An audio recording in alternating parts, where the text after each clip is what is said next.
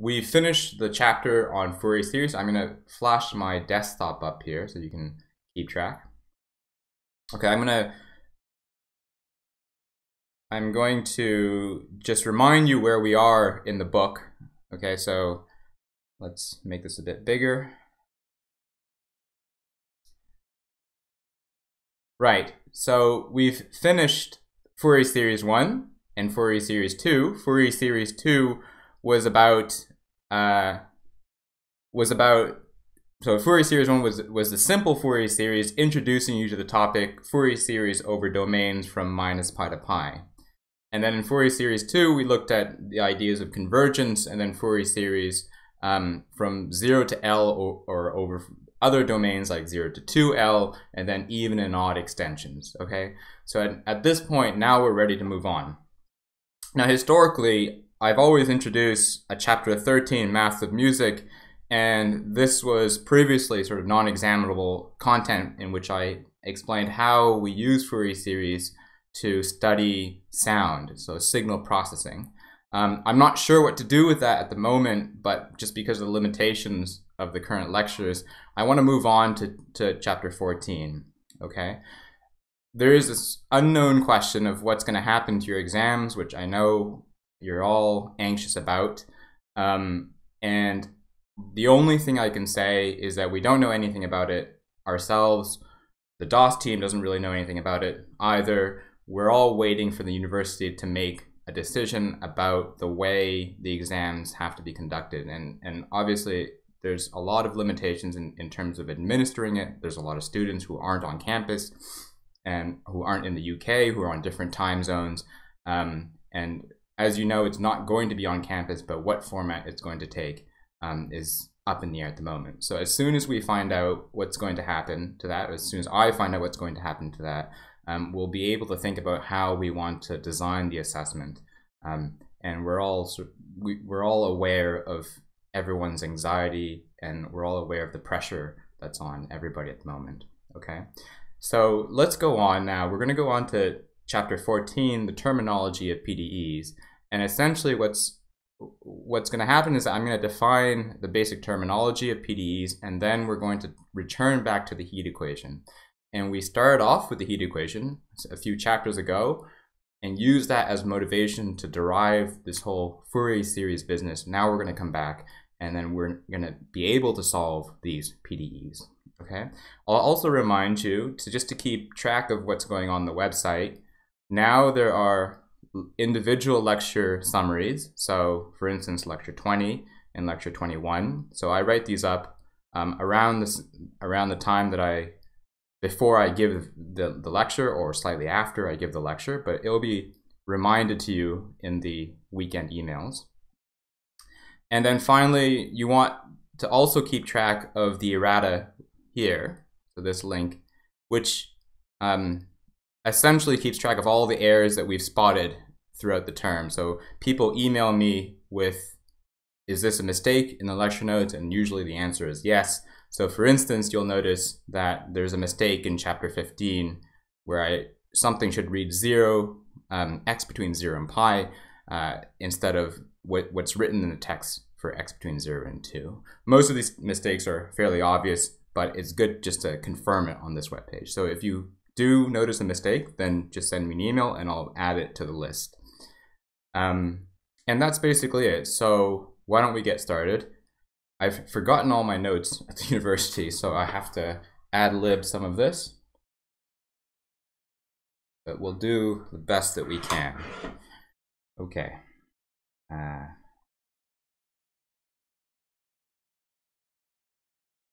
okay.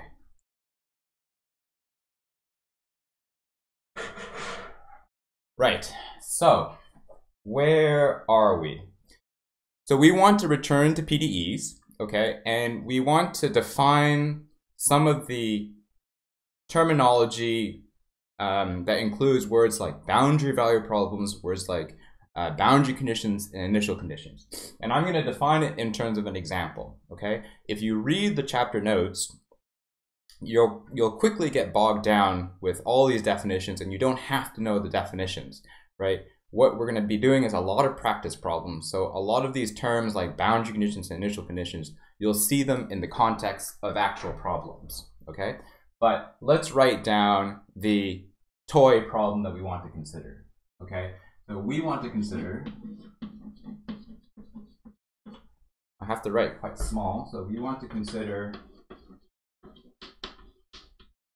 okay, they're called boundary value problems, so BVP.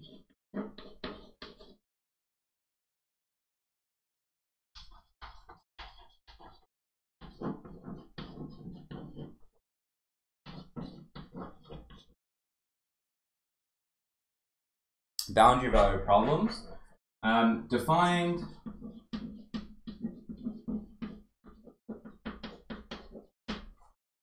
with initial conditions and boundary conditions, right? So we call them ICs for initial conditions.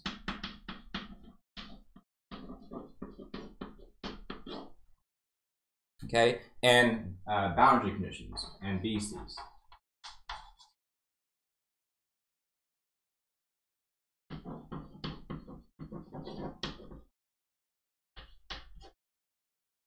Okay, and so let's write down a simple toy PDE.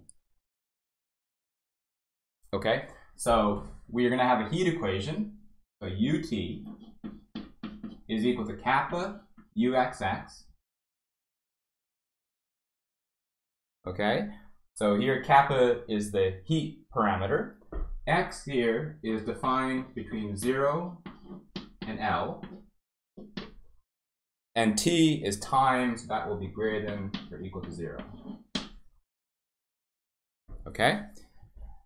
So this is the main equation to solve. u here is a function of x and t, and we need initial conditions and boundary conditions to specify. Okay? So I need a boundary condition.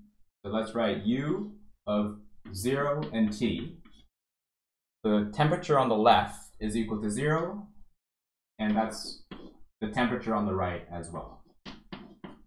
Okay, so these are the boundary conditions.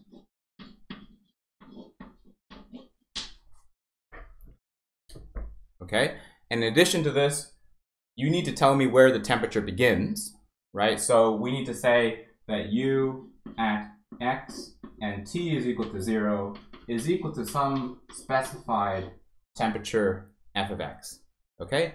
How do you imagine this? Well, you imagine a bar of heat. Here's your one-dimensional bar.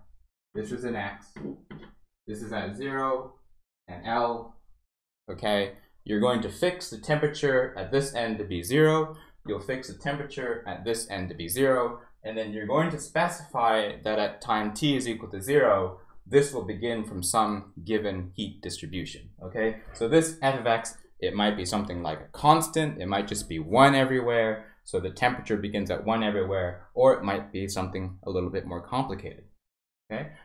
There are other boundary conditions that you can investigate. Okay, so you might not set it to be zero. You might set it to be some other constant. Maybe it's a boundary condition that varies as a function of time. Okay, or maybe you don't specify in terms of u, you specify in terms of the derivative of u. Okay, so there are other variations of this problem, but in essence, this is what we call a boundary value problem. A boundary value problem is a PDE coupled with boundary conditions and initial conditions. Okay? Now you look at this thing and you say, well, how did I how did you know that these are the conditions I need to solve the problem? So for instance, how do you know that you you need two boundary conditions on uh, x equal to zero and x equal to, to L? What if you only gave one? Okay. Or how did you know that you only need one initial condition for u and not one for the derivative? Okay, so these are very good questions. The question of the sufficiency. So these are all very good questions. The question of how many boundary conditions you need and the sufficiency of the bound, boundary conditions you have to determine the solution. And it's actually not that obvious, okay? So the, the, the answer to that question, well, how many boundary conditions you need and, and is it sufficient to determine the solution? That's not an obvious, um, that's not quite a trivial question. in this course, we don't really talk about that question. We're not going to really talk about, you know, the, the, the, the rigorous theory of the boundary conditions, the initial conditions. We're going to mainly depend on our intuition. So it makes sense that if I ask for the distribution of heat in a bar, then I'm going to have to tell you something about the end, and I'm going to have to tell you about something um, in the temperature in which it begins. Okay. If we were trying to model a wave equation, which is the other PDE that we look at in this course, then there'll be different types of boundary conditions and different types of initial conditions that you need to consider in light of the physical phenomena. Okay? Okay, so that covers the main terminology, BVPs, ICs, and BCs. Okay, so now the question, um, now before I go on to actually talk about the solution of this equation, let's talk about what types of boundary conditions there are. Okay, and essentially there are three types that you have to know. There is Dirichlet conditions, there's Neumann conditions, and there's mixed conditions. Okay, Dirichlet conditions are conditions that set the value of the function on the boundary, and in this case, the boundary is at 0 and L. Okay, remember that this is a one-dimensional bar, and you don't think of the boundary on the top, you just think of the boundary at x equal to 0 and x equal to L. Okay, so a Dirichlet condition is a condition that sets the value of u. A Neumann condition is a condition that sets the derivative of u, at the boundary, and then a mixed condition is one that combines the two. Okay, so let's write that down.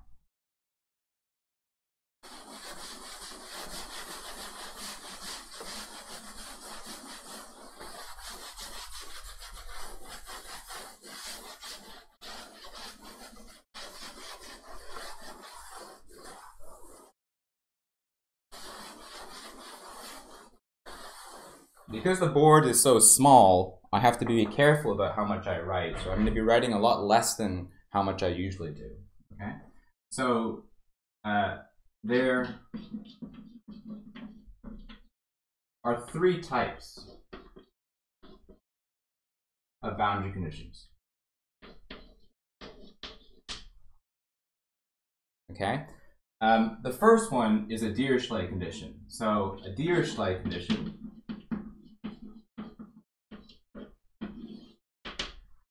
in a Dirichlet condition, you're going to specify the value of the function on the boundary.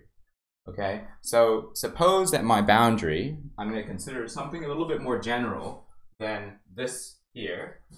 Let's consider the solution of a problem where the boundary, let's call that partial d for the boundary. So the domain is this region here.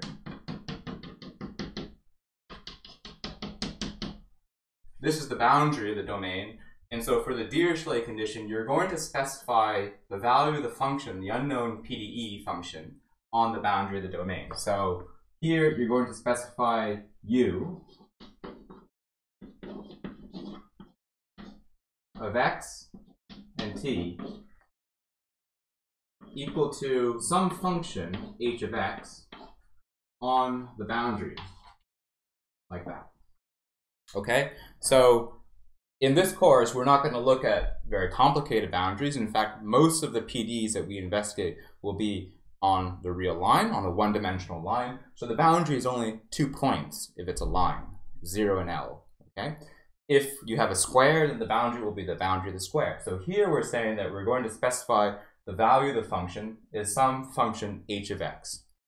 You can be more complicated than this your h can also depend on t, okay? But we're not going to study those complicated examples. The important thing for you to understand is what a Dirichlet condition is, okay? Then the next condition is a Neumann condition. Okay, so a Neumann condition is that I'm going to specify the value of the normal derivative of the function on the boundary. Okay, so um, du dn okay, is, and you'll have to refer to one of the problem set questions of how to calculate what this is. This is just the rate of change of your function in the normal direction. And in one of the problem sets is explained that you can calculate this by taking the gradient of u dot n. And so we're saying that I'm going to specify that value, right? I'm going to give you that value, or rather, you have to make sure that whatever solution you find satisfies that value on the boundary. Okay, that's what a Neumann condition is. And then finally, you have a mixed condition. So in the mixed condition, you're going to specify some combination of the function value u and the normal derivative. So for instance, I'm going to specify, let's say alpha of x times u plus beta of x times du dn is h of x, like so, on the boundary. Okay? Right. So these are the main three types of boundary conditions that you have to know. Okay? And then there's two types, in addition to the Dirichlet, Neumann, and mixed conditions, there's a terminology that we'll use depending on whether this h of x on the right-hand side is zero. Okay? if h of x is 0, okay, so if h of x is 0, then we say that this is a homogeneous boundary condition. This is a homogeneous boundary condition. If h of x is not equal to 0, then it's inhomogeneous or inhomogeneous.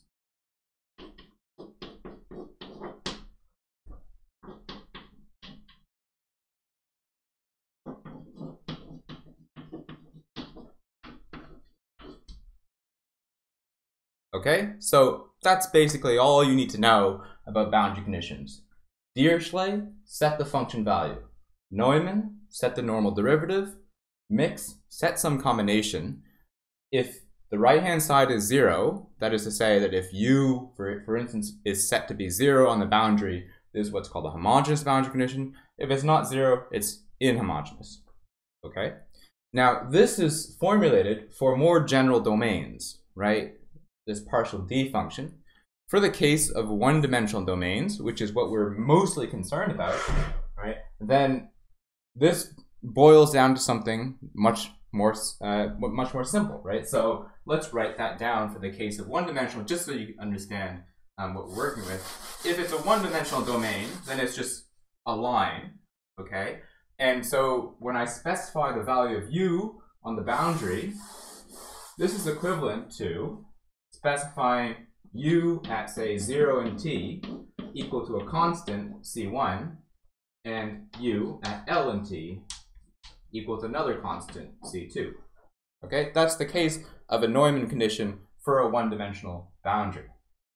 If you have a, uh, sorry, that's the case of a Dirichlet condition for a one-dimensional boundary. For the case of a Neumann condition, the normal derivative on the boundary of a line is just the x derivative. That's the normal direction, right? So this condition would be replaced, the Neumann condition, for a one-dimensional domain, would be replaced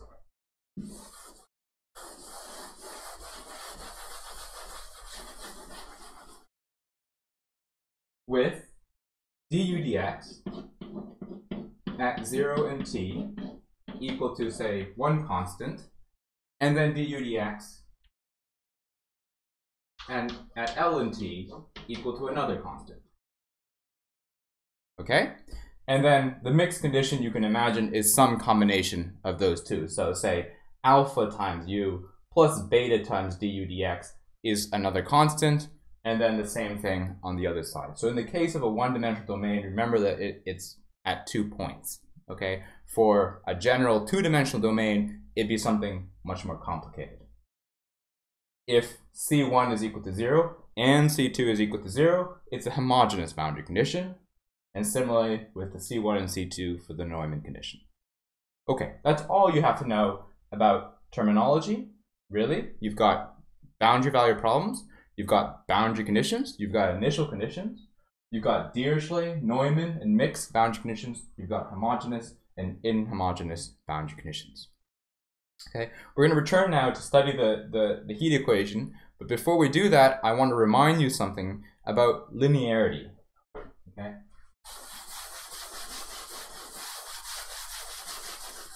So all the PDEs that you learn about here in this course are linear.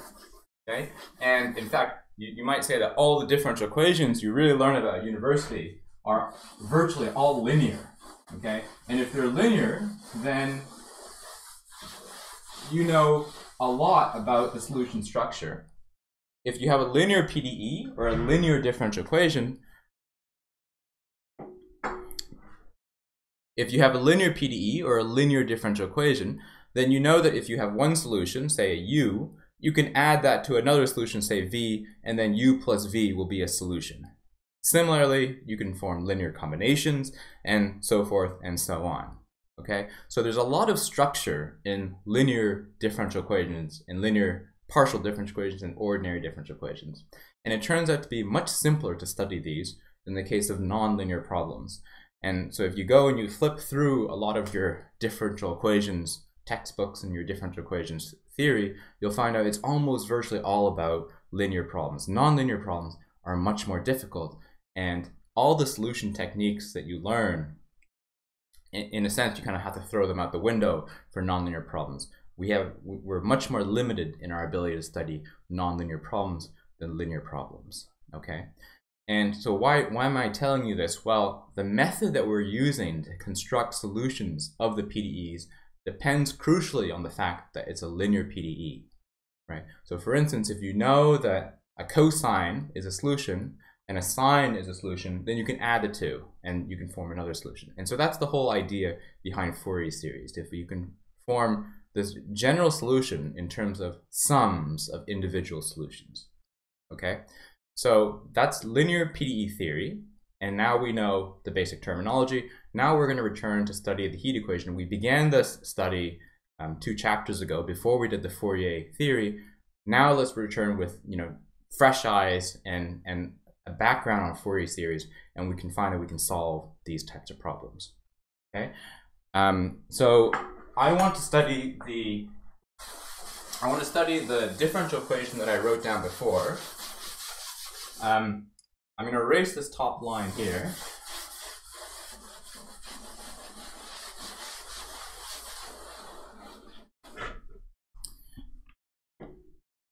and then I, will I'll have to kind of write it in a in a in a shortened form. So I'll do it here. So this is the problem that we want to study. ut is equal to kappa uxx. Okay. Just for example, I'm going to set the boundaries at zero and pi. Okay, so let's do the theory for zero and pi rather than zero and L. Okay, and I'm going to set the u at 0 and t should be 0. Set the temperature to be 0 on the left, and set the temperature to be 0 on the right. And I'm going to specify that, let's start at a distribution f of x. So I'm going to specify that at initial time,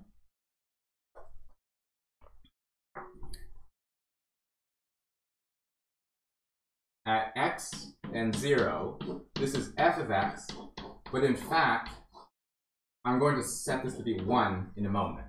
So that's just my toy problem. I want to consider a bar of heat, which is heated to a, a temperature of 1 everywhere, and then at its ends, we're going to set the end temperatures to be 0. Okay, so let's solve this problem. And you solve this problem through separation of variables, and we did this theory, I know we did it two chapters ago, but I've forgotten by now, so I'd like us to just do it again.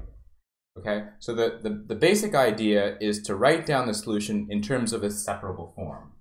So let's call that step one. So step one is let's let u of xt be equal to capital X of x times capital T of t. Okay, step two, you substitute, well, you, you substitute this, let's keep, still keep it step one. You substitute this into the PDE, and what do you get? Well, you get one time derivative on the left, two x derivatives on the right. So you're going to have a t prime times an x is equal to x double prime times a t times a kappa. Okay, then you move the kappa over to the left-hand side. Um, you don't have to do this. I prefer to do it just to keep the kappa with the time. You move the kappa over to the other side, you separate it, so you move all the functions of x over to one side, all the functions of t over to the other side.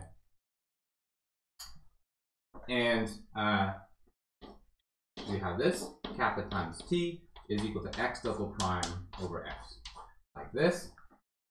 Okay? And this here on the left is a function of t, this here on the right is a function of x, and the only way you can have this is if both sides are equal to a constant. So I'm going to set this to be equal to, let me call this a constant um, sigma, a constant, okay? And I want to argue, in fact, the sigma has to be less than or equal to zero. In fact, less than zero are the relevant ones. Okay? Someone in the chat has asked, are there solutions that aren't separable? And that, that's a really good question. And the answer is yes, there are absolutely solutions that aren't separable, but those are much harder to do. Right? So all the techniques we have are for problems in which it's separable, and it's a very good question of, well, what's a simple problem for which it's not separable, and um, maybe we'll come back and readdress that. So basically, any problem where you have complicated boundaries. So for example, let's say you're trying to find the heat equation or solve for the heat flow in a domain that's not something like a circle or a square. So it's something with a complicated boundary. In that case, you're not expecting a separable solution. And usually what you have to do is you have to do it numerically. So these kind of methods only work if the domain is sufficiently simple. If it's, for example, a line from 0 to L, or a square, or a circle, or an annular region. Okay, so I, I want to argue about the different cases of sigma here. Okay, so let's let's call that step two. Okay, now the case that you have to know and kind of jump to once you understand this method is that sigma is less than zero. So let's call that case one. Sigma is equal to minus lambda squared, and let's say this is less than zero. Okay, and this case turns out to be the relevant one. But I want to show it carefully in this demonstration. I want to go through all the possibilities of what sigma has to be. Okay, so you substitute this minus lambda squared into this right-hand side, and then you solve for the t's and solve for the x's. Okay, so let's do that together. So you've got t prime is equal to minus uh, kappa times lambda squared times t, and you've got x double prime is equal to minus, uh, minus lambda squared times x. Okay, I'm going to jump to the solutions. I have very limited board space here, so I'm going to jump right to the solutions here. If you don't know how to solve these two equations, then you should go away and look them up. This is just um, in your elementary differential equations textbooks, but we're expecting for you to be able to solve these equations. Okay, so this one here will tell you that t of t has to be a constant. Let's call this constant c, an exponential of minus lambda squared kappa times t, like so. Okay, and then this problem here for x will be two oscillatory solutions, a sine and then a cosine. So this will tell you that x of x will be a times cosine of lambda times x plus b times sine of lambda times x. Okay, good. Now, why does this solution look good?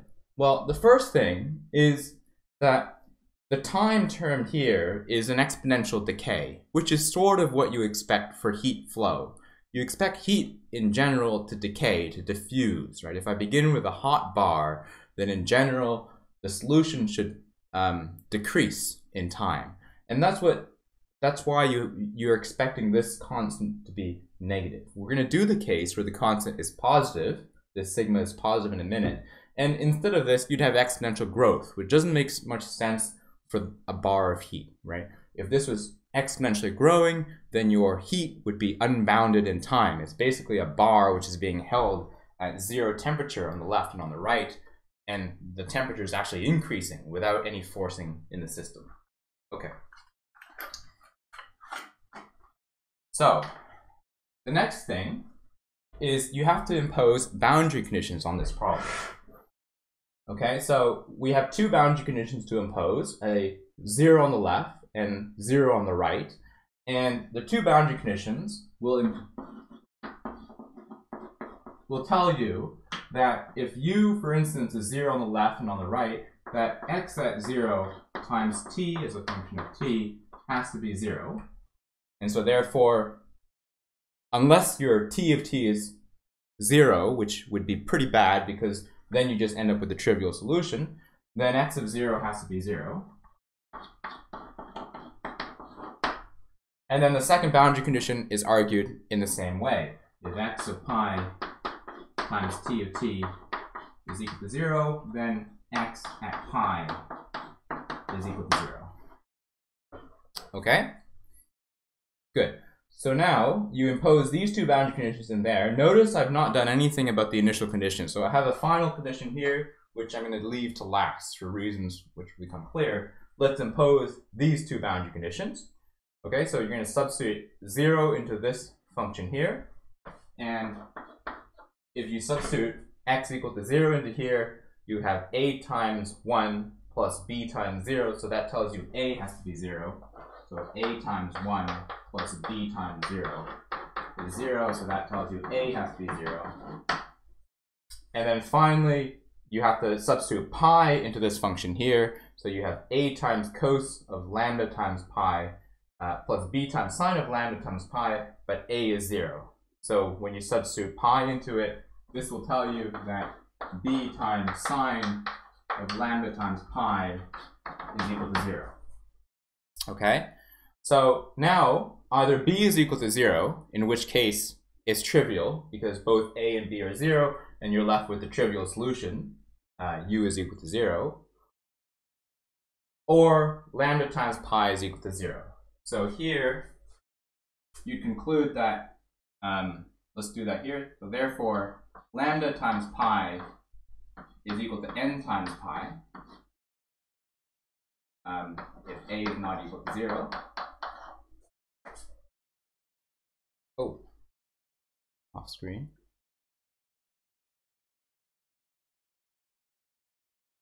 Okay, so this says lambda times pi is equal to n times pi if a is not equal to 0, and therefore that tells you that lambda is equal to n.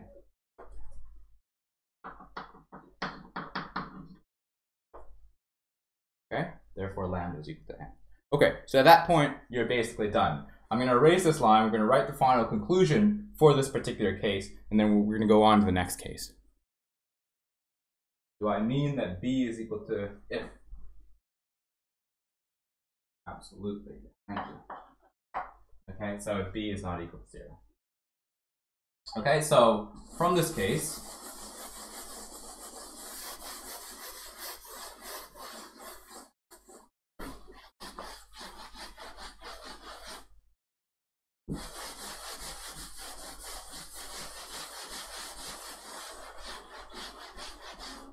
you use blackboard paint, apparently you're supposed to wait a day for it to dry.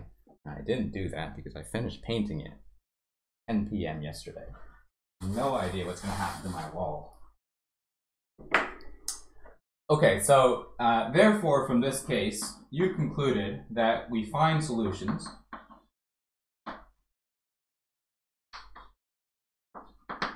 of um, we're going to index them with an n, okay? So we're going to call them un of x and t, okay, is essentially um, c times an exponential of minus lambda n squared kappa times t.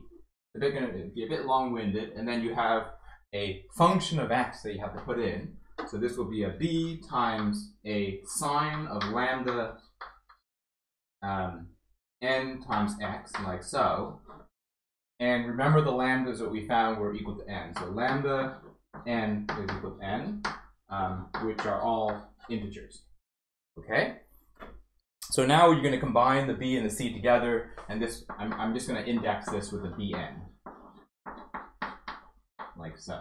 So bn times an exponential minus lambda n squared times t times a sine of lambda n.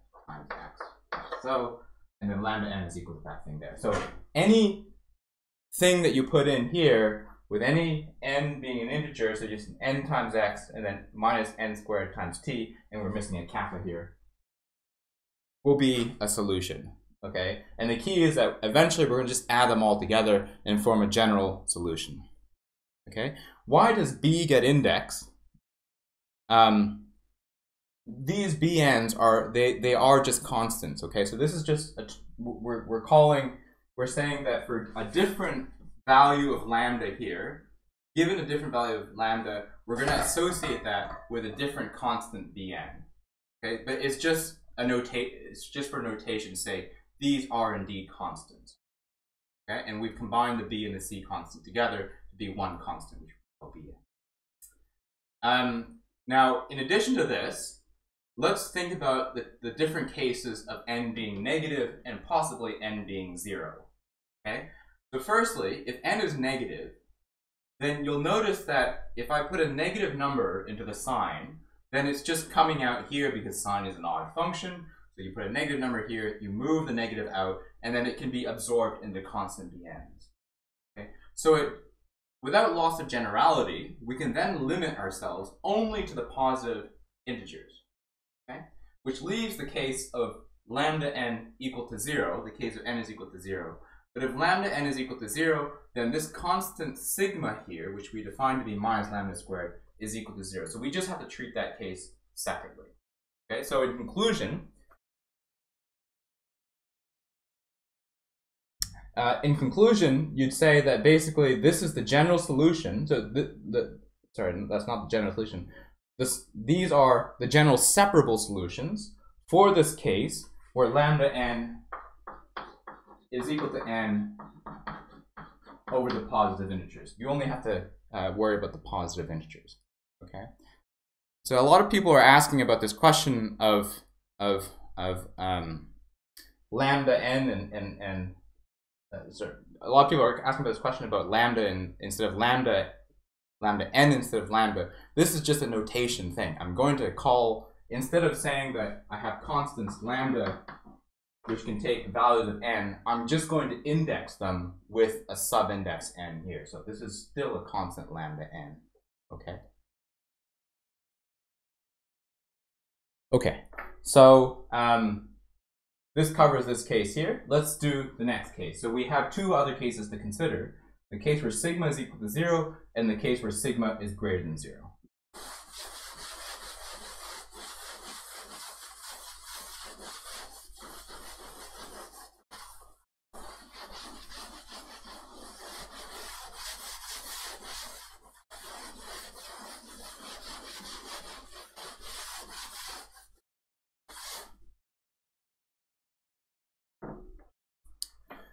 Okay, so the next case, let's call that item. I don't want to. I want to keep it as item two. Case two is the case where sigma is equal to zero. Okay, and well, what happens in that case? Well, in that case, unfortunately, I've erased the um, PDEs that you have to solve, or the ODEs that you have to solve. But in that case, you essentially have to solve t prime is equal to 0 and x prime, x double prime is equal to 0. If you go back to the line that we erased and you, you substitute sigma is equal to 0, these are the two differential equations you need to solve. Okay? And so this condition here tells you that basically t of t is constant. Let's call that c. And then this condition just tells you that x is linear. So this condition tells you that x of x is ax plus b. Okay, so now you impose the same boundary conditions as before. So boundary conditions. The first one tells you that x of 0 should be 0, right? And that tells you that just b is equal to 0. And then the second boundary condition tells you that x of pi is 0, and that just tells you that essentially a is equal to 0. So you've essentially concluded that at this point, the sigma equal to 0 case leads to the trivial solution as well. So only u is equal to 0. So this is trivial. Just to be clear um, about this, this issue of trivial solutions, it's a trivial solution in the sense that if I look at this ODE that sorry this PDE that I have to solve the heat equation with the ends kept at zero, only in the case where the initial condition is completely trivial, u is equal to zero, will this be a solution, right? So, um, sorry, I'm, I'm stating it like it, it, it's, it's slightly obvious, but it should be slightly obvious. You're looking at the heat distribution in a bar in which the ends are being kept at zero temperature, okay? The only way that U being zero, the temperature being zero for all time and for all space is a solution is if the bar itself is initially set to be zero temperature. Okay, so that's exactly what, so someone has asked, well, how do you have u is equal to zero when u of x and zero is equal to one, we've written here, and that's my point, I'm saying that you don't, right? This solution would, would, would the trivial solution is not a solution with this initial condition. It doesn't make any sense for it to be. Okay. Right, so we've covered case one. We've covered now case two. That leaves the last case.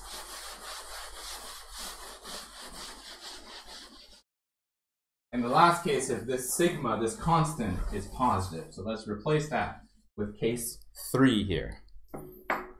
Okay, so here, and then my sigma then is lambda squared, which is greater than zero. Okay, and then now again, you're going to go and try to write down the two differential equations you have to solve. Okay, the first one will be basically um, t prime is equal to minus is equal to plus lambda squared times kappa times t. And then the second one will be x double prime is equal to lambda squared times x. It's, it's, the only difference is that this, these are both plus instead of negative as they were in case 1. In this case, I have t of t is equal to a constant times an exponential of lambda squared kappa times t.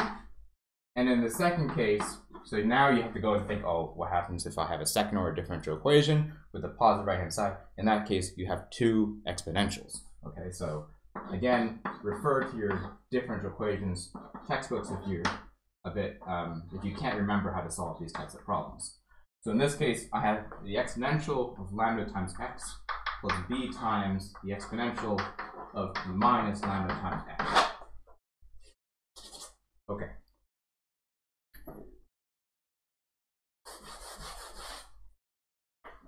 Right.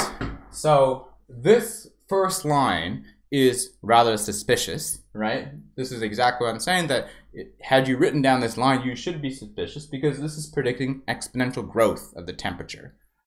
So this would tell you that u of x and t would tend to infinity as t goes to infinity, which doesn't make any sense. This is a bar of heat being held at zero temperatures on either end with some initial conditions. It doesn't make much sense to have a solution which is unbounded in time, right? But you can show that in fact uh, even without that physical intuition, you just end up with a trivial solution. So you just impose the boundary conditions on this x problem. So x of 0 being 0 tells you that a plus b has to be 0. And then you have x of pi being 0 tells you that a times the exponential of lambda times pi plus b times the exponential of minus lambda times pi is 0. Okay, and the only solution of this problem is if both a and b are equal to 0.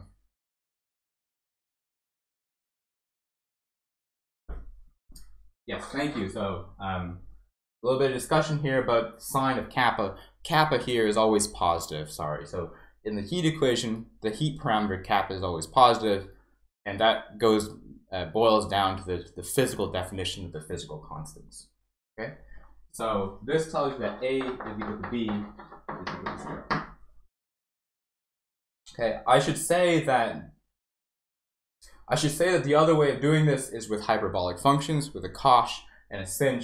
Um, and if that interests you, then you should look into it, but don't worry about it if, if you can't remember your cosh and sinh functions. Okay, so the point here is that if you put these two boundary conditions into the this expression for x of x, for big X of little x, you should just end up with a trivial solution.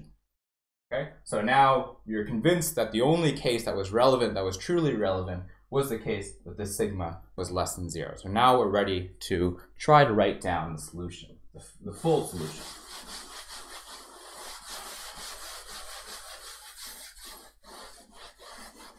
Okay, so what do you know at this point? Well, you know that if there are separable solutions, then you know that the form of those separable solutions have to be um, these things that involve the bn's times e to the minus lambda squared kappa t times sine of the function, right?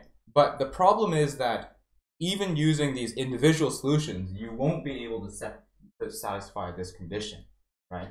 So if you were to substitute t is equal to 0 into the solutions that you found, you'll simply be left with sines. And a sine is not equal to 1.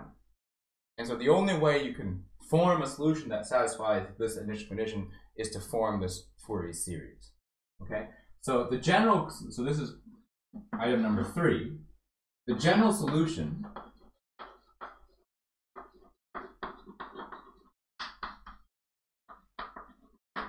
we're going to add all the solutions that we found before. And this comes from the linearity of the problem, right? The problem is linear. You can always add combinations of these solutions. So we're going to form a general solution, u of x and t, equal to a sum from 1 to infinity of the solutions we found previously. And the solutions we found previously were um, bn times the exponential of minus lambda n squared kappa t times sine of lambda n times x, where lambda n, comma, lambda n here is equal to n. Okay, so this is, you, we've added together all the separable solutions as before, and then now the only thing we have to do is satisfy this condition, and then we're done. So we have to find the Bn coefficients that allow us to satisfy that condition, right? But we need u at x and 0, and now you put in t is equal to 0 into this expression here, see? There's 1 to infinity, is bn. This is just e to the 0 is 1, so that's sine, and then let's go ahead and write this lambda n as n. There you are. Okay, so we need this essentially to be equal to 1. Right? And then now we know how to do that. We have our Fourier series business. Is there any reason to keep on writing lambda n? So someone has asked, why should we write lambda n? There's no reason. You could have substituted this n into here. I sometimes just do it just to remind you that lambda n, um, no, there's no reason to. So if the lambda n is more complicated, so for problems over 0 to L, instead this would be um, n pi x over L, so this would be n pi x over L, then it makes sense to write lambda n because this expression is a little bit more simple. But there's no reason for you to do that. You could go ahead and substitute the n in, here at any point. Okay, so now we have to satisfy this, and this is just the Fourier series, but we just have to remind ourselves, oh, how the coefficients Bn are, are calculated. Okay, um, we're, we're going to go over time, but but uh, given the state of the world, that's probably okay for us to go five minutes over time.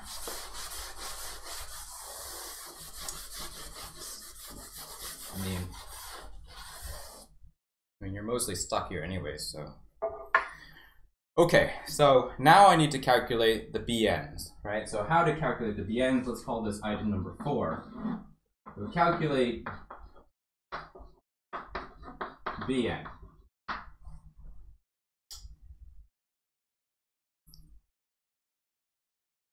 Right, so how do I do that? Well, I first have to think about what is the thing that I want. Okay, I want a function. I'm going to draw the function for us. Okay, this is x here. I need a function which is basically 1 from 0 to pi. Yeah, I'm going to draw it with the, the negatives here for, for um, reasons you'll see. And I, I need to calculate this bn such that basically 1 is expressed as a Fourier series here so as a sum from 1 to infinity of bn times lambda of sine of n times x. Okay? So you look at this thing and you say, well, that's a sine series. So whatever, um, the, the way that I calculate the coefficients bn should be such that I'm approximating an extension of a function which is basically odd because it's the only way that you have you have to have odd extensions for it to be a pure sine right? So if that confuses you don't worry about it. I'm going to draw the picture and you'll you'll understand. So i'm going to extend this function so that i'm going to go from minus pi to pi and i'm going to extend it like so. So this is going to be the odd extension